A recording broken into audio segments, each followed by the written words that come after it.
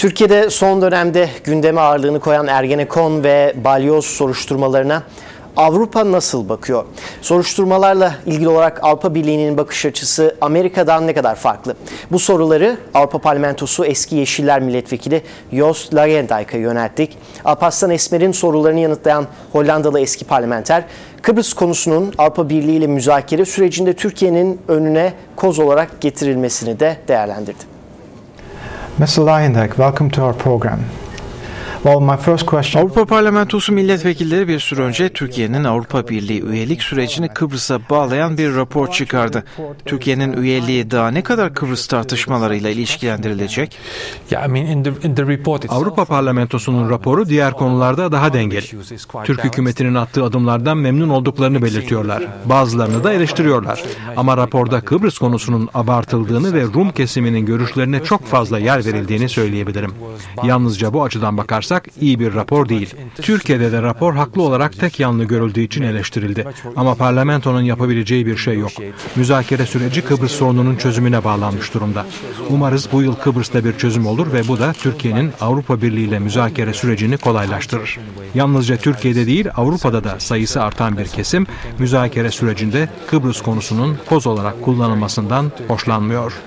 What could you tell us about the future of the negotiations? Kıbrıs sorunu çözüldüğü zaman sizce müzakerelerin başka bahanelerle geciktirilme olasılığı var mı? Between Turkey and EU, you mean? No, no, the, the opposite is true. Hayır, bunun tam tersi söz konusu. Tüm diğer başlıklar Avrupa Birliği, Fransa ve Kıbrıs Rum Cumhuriyeti tarafından engellenmiş durumda. Kıbrıs'ta anlaşma olursa müzakerelerde Türkiye aleyhindeki tüm engeller ve vetolar kaldırılır. Bu şekilde müzakereler devam eder. Well, yes, I'd like to ask you about the progress of reform. Türkiye'de reformların ilerleyip ilerlemediği konusunda ne söyleyebilirsiniz? I think from, from a European point of view. Uh, Türkiye'de yaşayan bir Avrupalı olarak şunu söyleyebilirim. Hükümet, Kürt sorunu, Alevi sorunu, sivil asker ilişkileri, anayasal reform gibi konularda çok sayıda vaatte bulundu. Şimdi beklenen hükümetin bu vaatleri somut adımlarla gerçekleştirmesi. Kürt açılımı nedir? Alevi açılımı nedir? Hükümetin anayasayı değiştirmek için ne gibi planları var? Hükümetin vaatleri hem Türkiye'de hem de Avrupa'da memnuniyetle karşılandı. Bu açıdan 2010 yılı hükümetin bu vaatlerini yerine getirme ve somut adımlar sunacağı konusunda istekli ve yetenekli olduğunu göstermesi açısından önemli.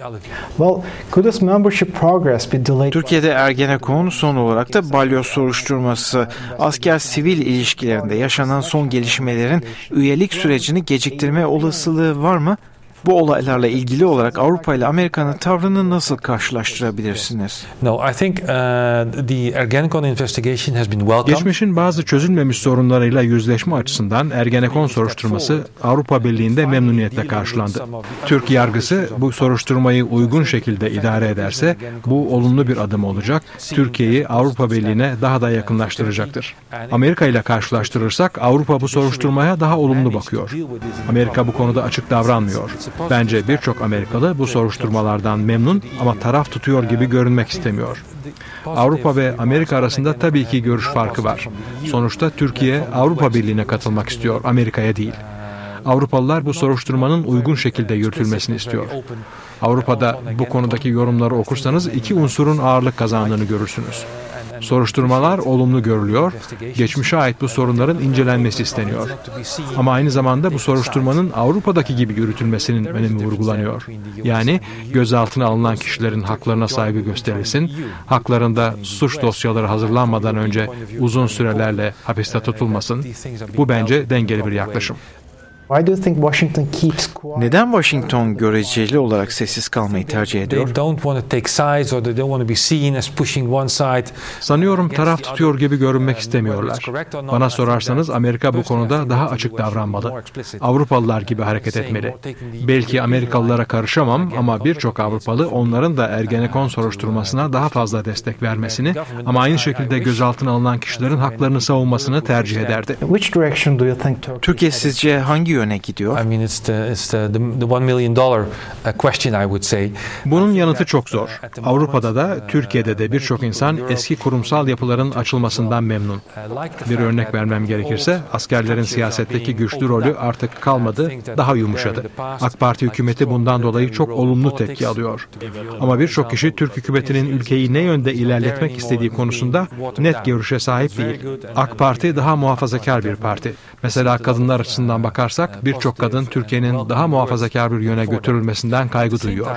Keşke AK Parti hükümeti yeni Türkiye vizyonunun ne olduğu konusunda biraz daha açık olsa. Umarım bu vizyon değişik hayat tarzlarına karşı daha hoşgörülüdür. Umarım tek bir hayat tarzı empoze etmek yerine diğerlerine de saygılıdır.